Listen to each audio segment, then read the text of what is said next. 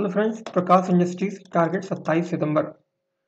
तो ये देखिए दोस्तों, मैंने चार्ट रखा चार्ट को स्टडी करते हैं। शेयर देखिए, एक लो बनाया 65 का, वहाँ से लगातार तेज़ी बना के, देखिए हाई बनाया इसने 68 का, वहाँ से थोड़ा सा नीचे आके कूल डाउन हुआ है। तो मेरा मानना है, यहाँ से फिर से बाउंस बैक कर सकता है राइट और पहला टारगेट रहेगा सिक्सटी का। और जैसे ही सिक्सटी इसमें क्रॉस करेगा राइट ये लेवल आपको तगड़ा रैली देखने को मिलेगी, आपको 70.40 तक का लेवल देखना पड़ सकता है। तो ये लेवल्स आप ध्यान रखिएगा। दूसरा शेयर है Rain industries. Hello friends Rain industries target 27 सितंबर। तो सेम चीज़ है दोस्तों रेन इंडस्ट्रीज़ में।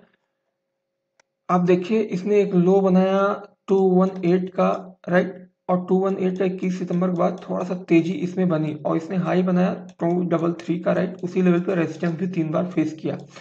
तो फिर से एक बाउंस बैक करने के चांसेज है। पहला टारगेट रहेगा जहाँ पे इसको रेजिस्टेंस मिल रहा है टू डबल थ्री का।